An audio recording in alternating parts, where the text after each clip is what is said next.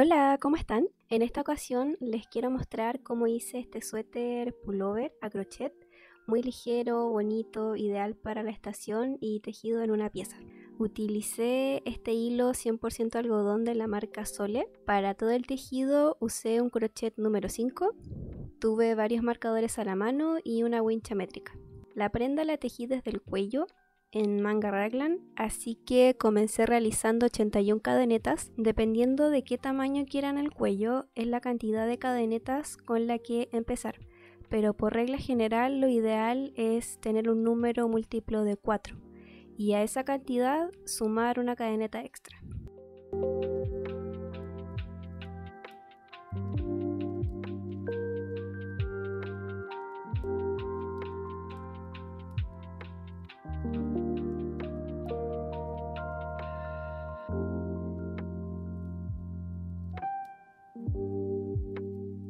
Caso comencé con 80 cadenetas más una, en total 81 cadenetas.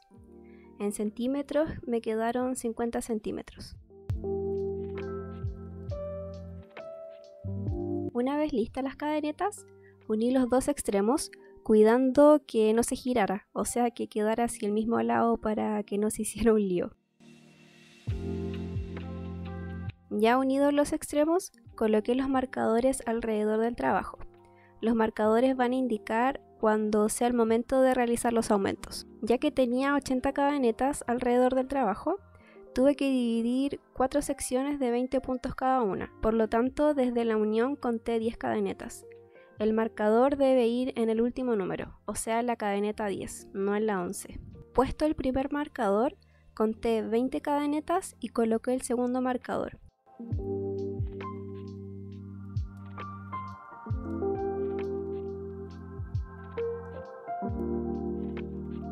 Conté las siguientes 20 cadenetas y puse el tercer marcador.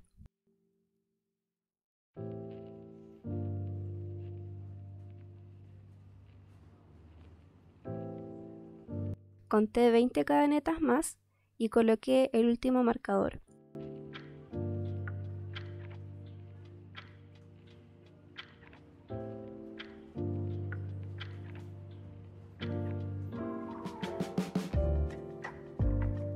Finalmente me sobraron 10 cadenetas, sumando 20 con las 10 cadenetas del principio. Como ven, la idea es formar un cuadrado. Comencé la primera vuelta tejiendo a dos tiempos, así hasta llegar al primer marcador.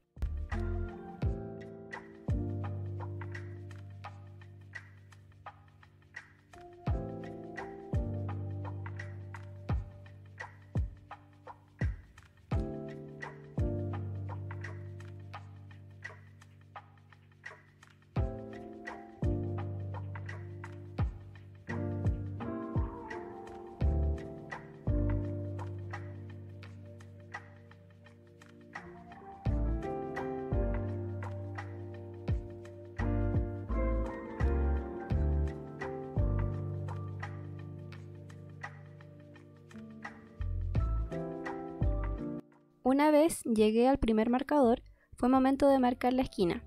Para esto realicé dos puntos en la misma cadeneta. El punto es el mismo que había venido haciendo.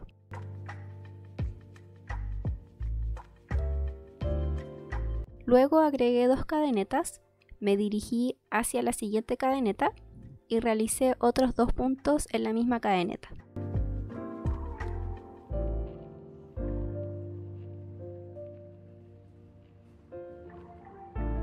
Luego seguí tejiendo de manera normal hasta llegar al otro marcador. Este paso lo realicé en cada marcador.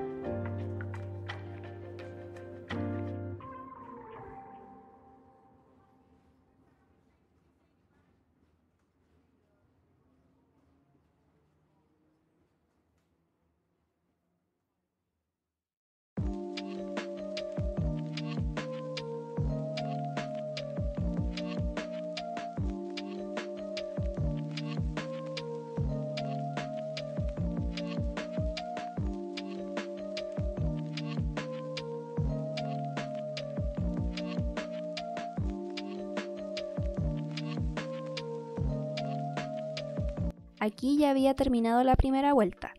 Me salté dos espacios y realicé una puntada.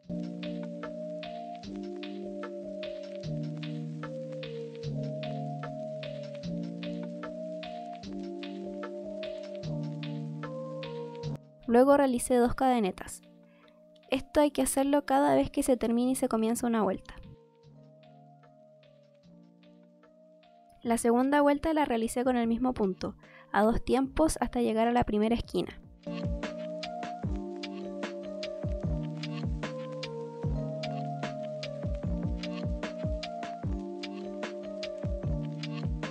Una vez llegué al primer espacio, realicé dos puntos, agregué dos cadenetas y luego realicé dos puntos más, todo esto en el mismo espacio.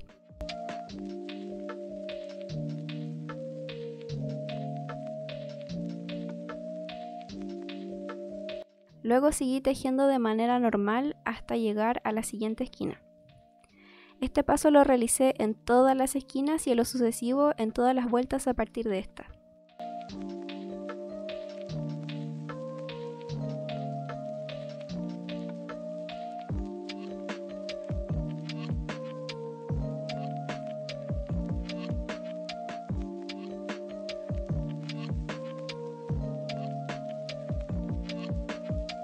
Aquí había terminado la segunda vuelta y como mencioné repetí esto en todas las vueltas sucesivas.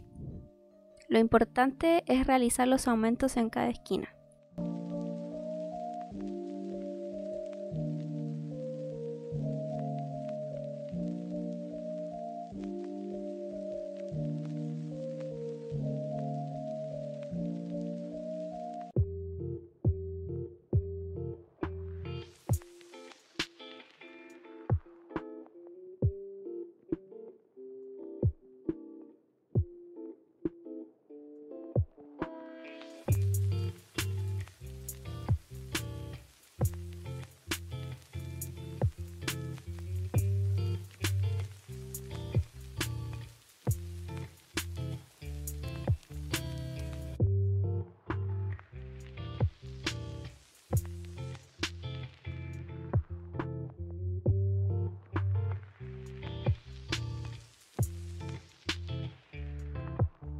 Una vez terminado el largo deseado, fue momento de unir lo que sería la axila.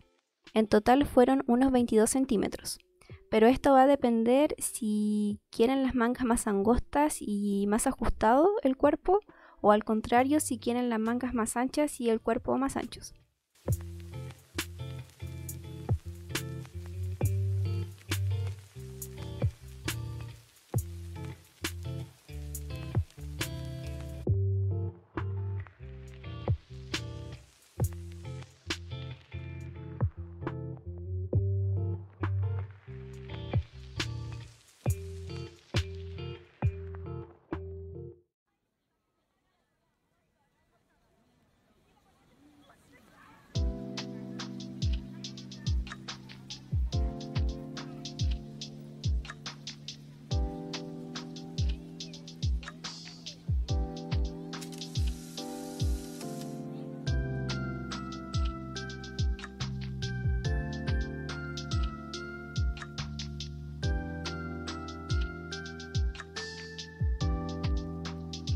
Tejí de manera normal hasta la primera esquina, en donde uní dos esquinas tejiendo de corrido, un punto en la primera esquina y de inmediato un punto en la siguiente esquina.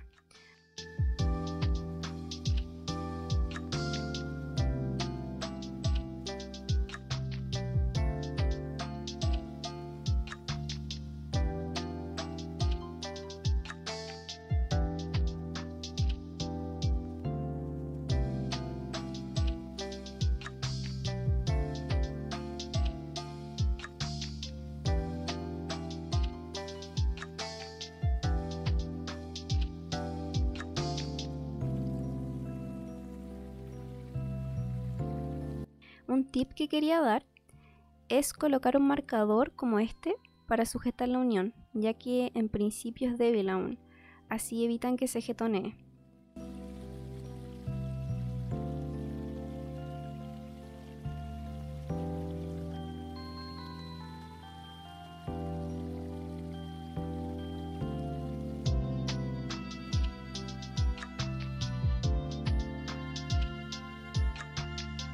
Repetí el mismo paso en las siguientes esquinas.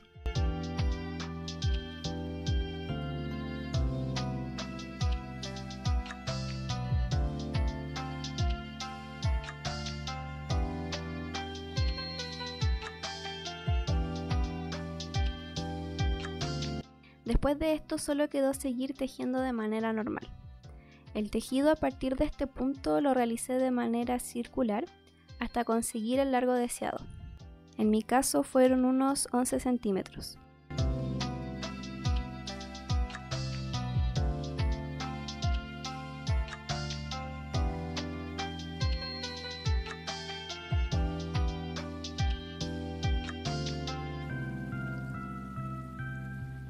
En la última vuelta realicé el punto como se muestra, saltándome un espacio.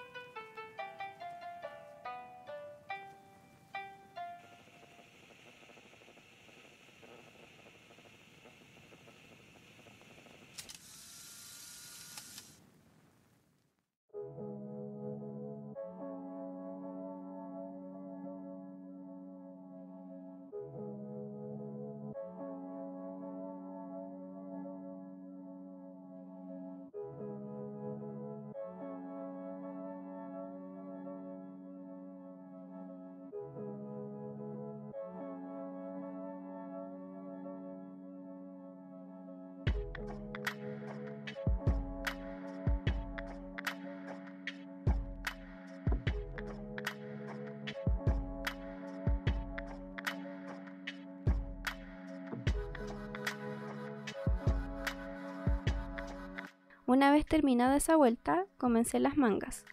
Levanté los puntos tejiendo el mismo punto que había realizado para el cuerpo, a dos tiempos. En el video se ve un error, ya que al comenzar la primera vuelta no agregué dos cadenetas, así que ustedes agréguenlas.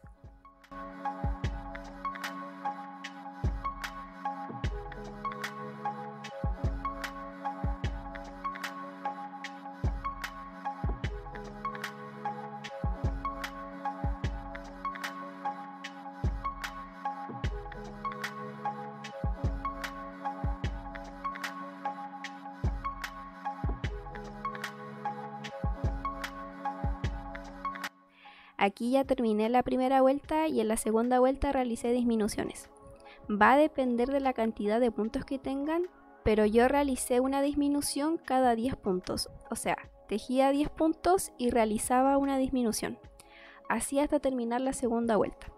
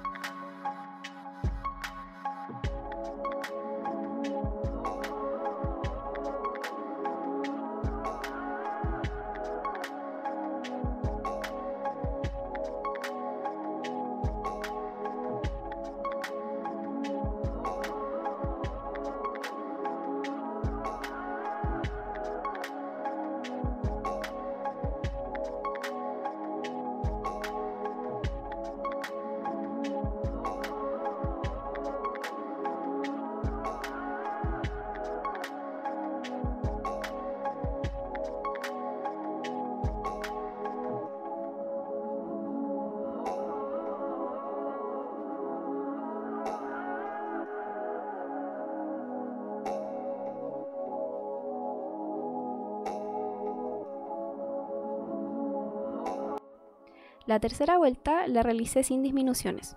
En suma, realicé una vuelta con disminuciones y una vuelta sin disminuciones, alternando en cada vuelta hasta terminar la manga. Mi manga quedó de unos 35 centímetros aproximadamente. Para finalizar el borde, tejí en puntos bajos realizando una disminución cada 5 puntos.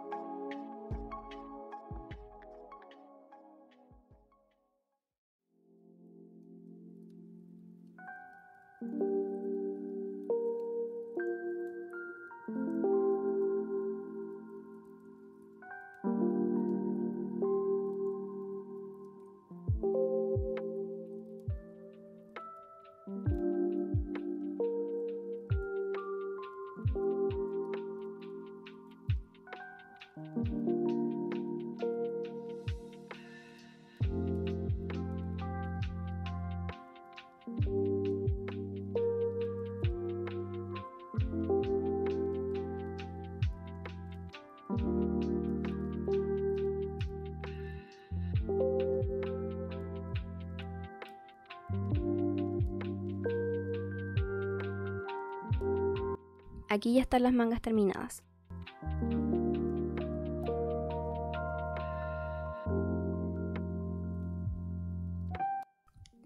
Para terminar hice un cuello, también en naranjo. Eh, para esto realicé cuatro cadenetas como se ve en el video, tejiéndolas y uniéndolas a la prenda tal como se puede apreciar.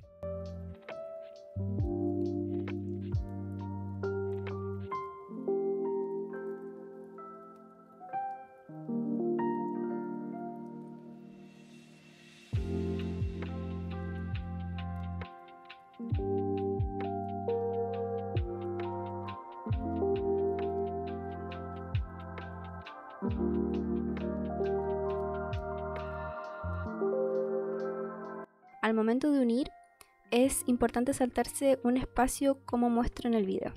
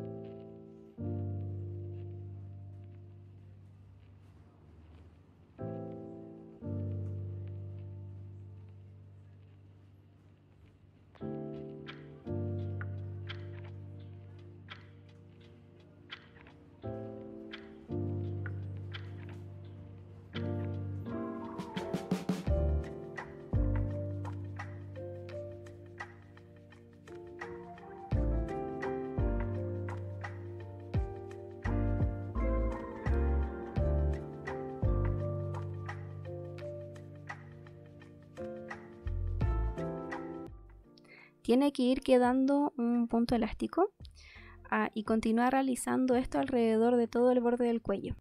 Una vez terminado, uní ambos extremos, simplemente tejiéndolos como se muestra en el video.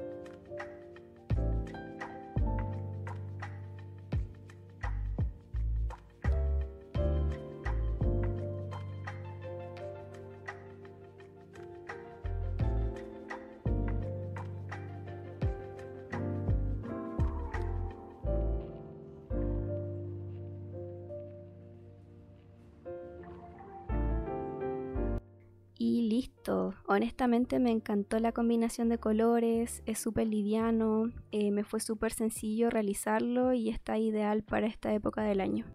Muchas gracias por ver este video, suscríbete y nos vemos a la próxima. ¡Chao!